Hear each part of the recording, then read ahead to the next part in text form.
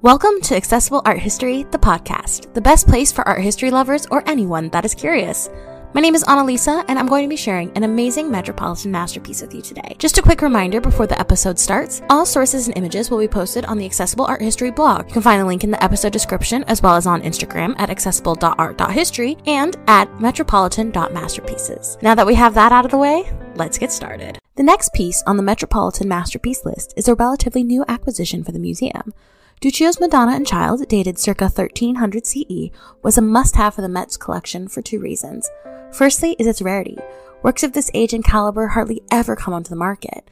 Secondly, Duccio's work represents the beginning of the massive transition from the medieval and Byzantine style to the rebirth of the Renaissance. We'll cover both of these topics in this episode, so keep on listening to learn more. Upon first glance, Duccio's Madonna and Child is rather unassuming. There's no background or indication of where the tender scene is taking place. Instead, that space is filled with a rich golden shine. Most of the work is filled with the body of the Madonna.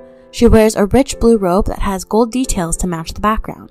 She looks tenderly down at her son as he reaches up towards her. Baby Jesus is quite a bit smaller than his mother, but doesn't seem to have the same proportions as an infant. Instead, he looks more like a miniature man.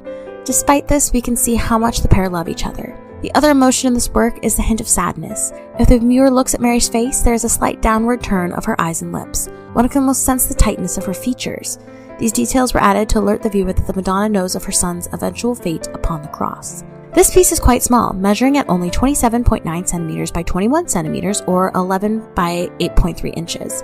Compared to Duccio's older pieces that he is most famous for, it's positively minuscule. This indicates to art historians that it was likely commissioned as a private devotional piece. No matter its size, Duccio's Madonna and Child is a truly remarkable work of art. There is no doubt that this work has a strong medieval and Byzantine style. This is hardly surprising, as Duccio lived and worked during the Trecento, or 1300s, period of Italian art history. First is the golden background. This is quite common during this era. One of the reasons is because gold was associated with the infant Christ because he was presented with it as a gift at the Nativity. Additionally, descriptions of heaven in the Bible mention that it is covered in gold and precious jewels. To achieve this effect, Duccio would have had to painstakingly apply small pieces of gold leaf to the wooden panel with water. This technique was called water gilding. Next, he would have had to polish the gold to ensure that there were no seams between the pieces of gold leaf and to ensure that it shone brilliantly. By fixing a gold leaf background, Duccio was telling the audience that this scene took place not in our world, but in heaven. Some historians believe that Duccio made a trip to Constantinople during his life and picked up a few techniques during his visit. Regardless of the veracity of this claim, we can see one major element of the Byzantine style in his work. Duccio's use of color leans heavily towards the jewel tone end of the spectrum. The blues and oranges of the figure's robes are deep and rich. Even without a natural light source, they create their own shadows and visual interest for the viewers. However, despite these elements, we can see Duccio moving towards a stylistic revolution. This is not surprising, especially because the artist is credited with creating the Trecento and Sienese schools of art. One of the major changes from the past styles is evident in the piece is the softening of lines, especially on the bodies of the Madonna and Christ child. In other works from the period, figures tend to be blocky with sharper angles in the shoulders and face in particular. But here in Duccio's work, the shoulders and planes of the face have rounded edges. Not only does this impart more humanity into the piece, but it adds an element of naturalism to the divine persons by creating a slight sense of three dimensionality. Another change we see in this work by Duccio is the interaction between the Madonna and baby Jesus. In previous eras, they were stoic, holy figures. Their presence is meant to aid in contemplation of the divine. However, Duccio has transformed them into a mother and child. Yes, the viewer knows who they are because of their garments and golden background, but the tenderness between the pair is unprecedented. Mary's emotion as she looks down at her son, and Christ reaching up to play with her veil as Enlil Toller would. It is a scene that any parent would recognize. By giving the divine a human element, Duccio was removing barriers for worship. Next, I'm going to discuss the artist and how the piece came to be at the Met. But first, let's take a quick break.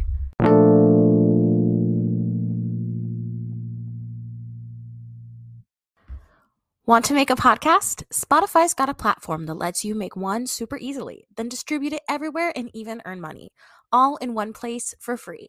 It's called Spotify for Podcasters, and here's how it works Spotify for Podcasters lets you record and edit podcasts right from your phone or computer.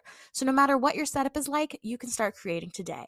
Then you can distribute your podcast to Spotify and everywhere else podcasts are heard. Video podcasts are also available on Spotify. And when you want to take conversations with your fans to the next level, Q&A and polls are the best way to get them talking. With Spotify for podcasters, you can earn money in a variety of ways, including ads and podcast subscriptions. And best of all, it's totally free with no catch. Ever since I discovered Spotify for podcasters, I've been using them like crazy. I upload every week with Accessible Art History, the podcast, and I'm so thankful to have a program that's easy for me to use, especially because I'm not super tech savvy. I highly recommend you give it a try. So download Spotify for podcasters or go to www.spotify.com slash podcasters to get started.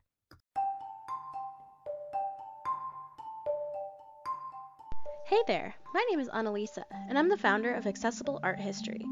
As a part of my content offerings, I produce a podcast. For the first several seasons, I will be discussing 50 objects that shape the history of Western art. From prehistoric cave paintings to contemporary art, I'll be covering it all.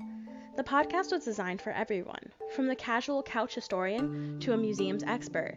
It all fits within the larger mission of accessible art history to create a space for art history lovers, students, and anyone who is curious to explore all periods of art history and human creation. New episodes drop every Monday on your favorite podcast platform. Make sure to follow the Instagram page for all updates at accessible.art.history.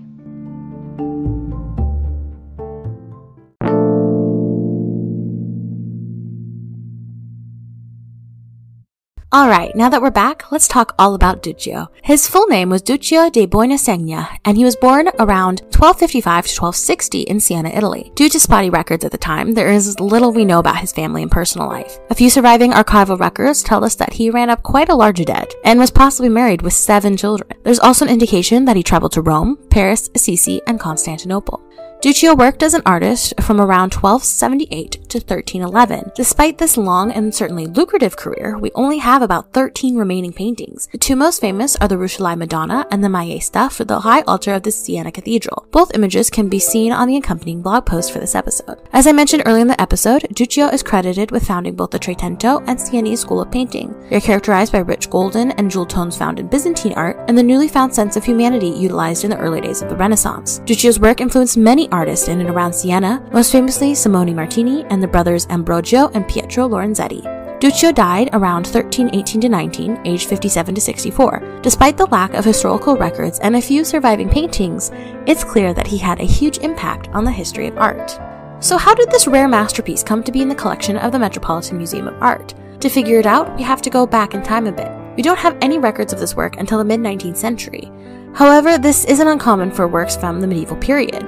The first known owner of this painting is the Russian Count Grigory Stroganov. He claimed he bought it from a dealer who had the painting labeled as by an unknown artist. He lent it to the Palazzo Pubblico of Siena and he also kept it at his palazzo in Rome. Art historian Mary Logan Berenson researched the piece after the exhibit in Siena and believed it to be Duccio of the highest order. She died only a few years later in 1910, but her legacy remained. A Belgian engineer and art collector, Adolphe Stoclet, purchased it and added it to his personal collection. He was intelligent and understood the importance of maintaining a world-class collection. Stoclet was careful to keep his works in controlled environments. He lent the work, which had taken its, his name as the Stoclet Madonna, to two exhibitions in the 1930s and only allowed visitors and only allowed visitors to view it on rare occasions. Stoclet died in 1949 and left his entire collection to his wife and children. They closely guarded it and only allowed photographs and scholars to visit every once in a while. However, in the early 2000s, the family decided to sell off a few pieces. One of them was Duccio's Madonna. In 2004, the work was shopped around between major museums around the world. The family was asking an astounding $45 million for it. The Getty in Los Angeles thought the price was too high, but the Louvre and the Met were interested. With only 13 known Duccios in the world, neither museum had one in their collection. As you may have guessed, the Met won the bidding war, and Duccio entered the collection. This was the highest price the museum had ever paid for a work of art. For reference, in 2023 dollars, it's equivalent to $71,268,660.67. Today, Duccio's Madonna and Child is a prized part of the Met's European painting collection. With only 13 surviving paintings, Duccio's works are rare treasures. They represent the radical transition between medieval and Renaissance periods. This is why I've classified his Madonna as a metropolitan masterpiece. And make sure to tune in next week when I discuss the smiling figures or the remojadas of the Met. Thank you so much for listening to this episode of Accessible Art History, the podcast. Make sure to follow us on Instagram at accessible.art.history and at metropolitan.masterpieces for updates and to keep an eye out for the next episode. They drop every week on your favorite podcast platform. If you prefer to listen on YouTube, you can find episodes there on well, about two weeks after each episode is posted. Cheers and see you for the next episode.